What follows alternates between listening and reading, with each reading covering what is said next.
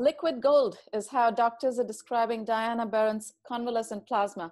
COVID 19 survivor Berrent is New York State's first donor of convalescent plasma in the race to find therapies against the virus. Diana was diagnosed on March 18th. She got better with lots of Tylenol and Gatorade.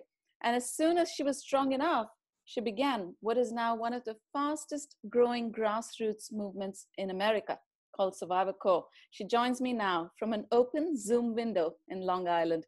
Diana, I'd like you to walk us through the worm's eye view of testing from the time you got diagnosed. What's the patient experience been like? Tell us. Um, thank you so much for having me on, first of all. I really appreciate it. Um, the testing here in America um, has not gone particularly well. Um, I can tell you about my experience, but I don't want to dwell too much. There are enough people out there who can speak to all the things that have gone wrong, and I'd rather focus on what we can do um, in sort of a more solution-based, forward-looking approach. But I can tell you a little bit about my own experience. I was exposed to the virus pretty early on in the cycle, and I figured out that I had been exposed to it at a meeting on the evening of March 9th. And um, it took me about a week to figure that out. It was a business type meeting, not social, under the recommendation of 10.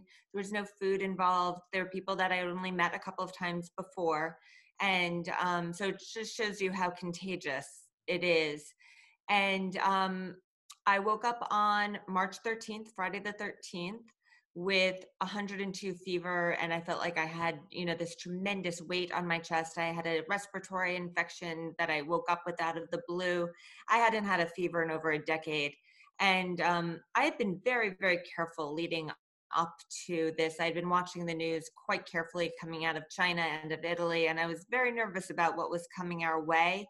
So the second that I woke up with those symptoms, even though um, there had been a couple of people in my area, and when I say area, I mean uh, an area that's the size of Manhattan, you know, um, not a small town by any stretch of the imagination. Um, only a couple of people had been diagnosed at that point, and nobody had come forward with their identities. So I went to go get tested, and I was told that unless I had traveled to China, Italy, or Iran in the last couple of months, I had to prove that I had had 10 minutes of sustained close exposure to somebody who had tested positive, which I realized was a complete catch 22 because if nobody is being tested, how could you possibly prove that? Um, and that sort of started me down this rabbit hole of being kind of what I call the canary in the COVID coal mine and seeing where there the system was broken down and where we could rebuild it as um, just in order as a grassroots movement. And so far we have. It's been it's been incredible. But the te- the the road to my initial testing was quite difficult and it was only after i posted on facebook about the situation and the message went pardon the expression, went viral. Um, and it ended up reaching my congressman who had to intervene to get me tested, which was, you know, very good for me, but not a scalable solution. You have to remember that this was over a month ago when schools were still open and businesses were still open. So I felt that I had a real moral and civic duty to report to my kids' school districts and other anywhere else there I, where I had frequented in the previous 10 days because at that point I didn't know where I had been infected and I didn't know how long I'd been contagious for. I've been scrolling through the posts on Survivor Corps. It's pretty intense. From the time that you talk about till now, are people saying that things are better with the testing? Um, there is more available testing right now than there was before, but there's also a ma- much higher rate of infection than there was before. So while the tests might be more readily available than they were a month ago, most people who come down with any symptom, and you have to keep in mind that COVID presents itself constellation of symptoms. And so each person has a different subset. And if you have any one or two of those, your best bet is to really just assume that you are already infected. Um, I say this all the time act as if you're already infected, and every single person you infect is either your best friend or your grandmother. Um, the reason why I say that is because with the difficulty in getting tested, the chances if you're running around town trying to chase down that test, it's more likely that you're going to be shedding that virus everywhere you go. And um, if you didn't have it beforehand, after sitting in an urgent care office for four hours waiting for one, I can guarantee that you'll walk out with it. So it, it is it, that's something that could definitely be improved upon um, when other countries are looking at best practices. Our uh, our initial testing would not be a model for sure. You know, given how intense the symptoms are and the ones you talk about, do you feel comfortable with the social distancing guidelines that currently exist? No, not at all. Um, they were six six feet. Uh, we're now we're now hearing that it can be 13 feet. We're now understanding that it can be tracked on your shoes. Um, we really don't know a lot about this virus. And that's one of the reasons why I launched Survivor Corps is to basically mobilize an army of survivor volunteers to donate their plasma and to participate in every single study available because the answers to so many of those questions lie in the bodies of survivors and we can support those scientific efforts to figure out the answer. My recommendation is not social distancing. My recommendation is this. It's very simple. No one in no one out, no exceptions. Now, I understand that it is a privilege to be able to remain home, and a lot of people, the essential workers, don't have that option. And some people live in homes that are so crowded or unsanitary or unsafe that it causes a real problem. So I understand the difficulties that come along with that recommendation, but don't go to the grocery store you know, eat that last can of tuna fish that's been sitting in your pantry for years and years. Now is the time to get to the bottom of your freezer. Whatever you can do, stay at home. I don't think you can be too careful with this. But last heard, governments are planning to open up. So, how do you, as a survivor, react to policy changes? And I'm sure it's a more intimate experience now. You've been there. Um, I think it is a disaster. Um, the idea of opening up before we have anything controlled. I mean, on a more immediate level, one of the things that we've seen out of Survivor Corps, which is one of the unintended benefits of Survivor Corps, and that's one of the reasons why I love I love talking to global media because this is truly a best practice that, that can be adopted globally. Um, we have collected one of the best data sets on survivors that exist, which is really incredible. And a good example of that is we were seeing story after story after story, all telling the same thing. People were going to go donate their plasma 14 days post symptomatic. Those are the rules in order to qualify for any study or any plasma donation program, convalescent plasma program and almost all of them were proving to still have the virus in their system. In order to be a plasma donor, you have to test negative, a follow up negative test for the virus, a diagnostic test, and test positive for the antibodies, and not just positive in a black and white way. Um, but to know that the concentration level of your antibodies is high enough, that your titer level is high enough.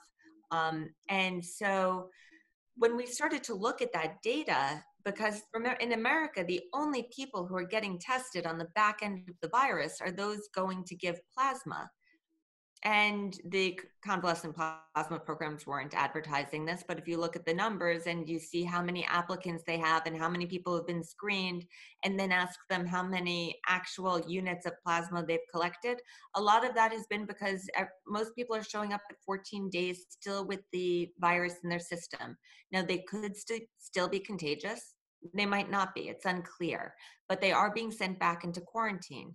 Now, at the same time, our CDC, which which is their recommendation, and it's being um, mimicked by other states like New York, which is the epicenter where I live, is that you can release, you should release, be able to release yourself out of quarantine and go back into society at a socially distant basis um, at 72 hours post symptomatic.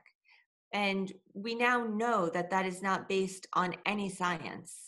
It is an effort to get frontline workers back on the job, um, but it if followed, and there's no reason why it won't be, people are trying to follow the rules, but the rules that have been set up, the guidance that it's have been set up is woefully inadequate and could potentially lead to a massive wave of reinfection. It, it, it, sort of blows the mind to, to think that we could have an entire country on virtual lockdown and shut down our entire national economy and send people back out into the world after 72 hours when all you need to do is wait a couple of weeks um, and you'll be safe. So I, even though a lot of these studies recommend 14 days post-symptomatic, I tell people that really 21 to 28 days is where you're going to really find yourself in the safe zone. And in order to donate plasma, also your will be that much higher. But um, yeah, we, we socially distancing is, um, I think, a little bit like wearing a mask and gloves. It gives people a false sense of security and allows them to engage in behavior that is really detrimental to the public good and you know all you need is one person to infect another to infect infect a hundred more i really want you to walk us through the process of convalescent plasma donation tell us what led you to columbia university and how that went I would love to talk to you about this. I, when you, as soon as you mentioned it, I had a ear to ear grin on my face. So I ended up being participant number 0001 at Columbia University's convalescent plasma program. And so what, I'm just going to walk you through the process from there till donation because I want to sort of take the mystery out of it. And um, a lot of people I've get, been getting a lot of questions, you know, what's the recovery like? Which, by the way, there's none um, it was not only so incredibly easy, but it was one of the most gratifying experiences of my entire life. So it started with going through Columbia, and I had had a positive previous diagnosis. Um, although those those standards are changing on a daily basis, so I don't want to go too much into the criteria because you know they've changed from yesterday and will be different by tomorrow.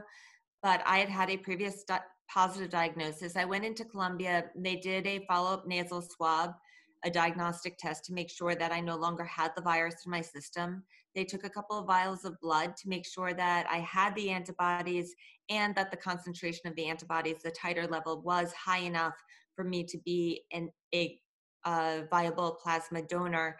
The icing on the cake turned out to be that I am AB uh, blood type, which for plasma is the universal donor. That's only four to five percent of the population. So, as my doctor referred to it, my plasma is liquid gold because it can truly be matched with those who have the rarer blood types who are finding it harder to get matched. So, once I got the, the, all of that good news, um, as a week ago Monday, the first thing I did was I called the New York Blood Center, uh, which Survivor Corps is now an official partner with, as well as the American Association of Blood Banks. I made an appointment for, I got the first appointment I could get, and I went in, and I'll tell you a little bit, a little bit about the process because it was, it was amazing. I mean, I, I can't even talk about it without um, there's just a feeling of such satisfaction joy that as i mean in a lifetime how many times can you save a single life um, but in 32 minutes have the op- uh, uh, opportunity to save three to four lives and be able to do that every seven days so i went to the new york blood center and they took my temperature they took my blood pressure they did a finger uh, tip uh, prick to make sure that i wasn't anemic um, you know, you have to qualify for all the same rules that apply to donating blood. Although the FDA here in America has recently relaxed a lot of those regulations, which I'm happy about. Although there's more that that, that can be done on that front. Once once I cleared all of those hurdles, um, which took about five minutes, um, I was brought back into the donation area, and it's just like giving blood, except for even better because what happens is they they put the IV in and they take out the blood and there's this machine sitting next to you which looks like it's out of science fiction and it separates the plasma from the rest of the blood from the red and white blood cells and it keeps the plasma and puts the blood right back into your system and you lie there it tells you when you're supposed to squeeze the ball which is you know every few minutes you give it a few squeezes. And it was 32 minutes from beginning to end. Um, i drove myself there and home in and that's a 45 minute drive not insignificant. I didn't feel a thing. I don't have a bruise on my arm no soreness um, no nothing. It was they handed me cookies and juice on the way out. Uh, there was a room where you could sit and relax and enjoy it. I went straight to my car and ate it on the way home. So there was absolutely no recovery and i truly i, I really i really felt like a superhero.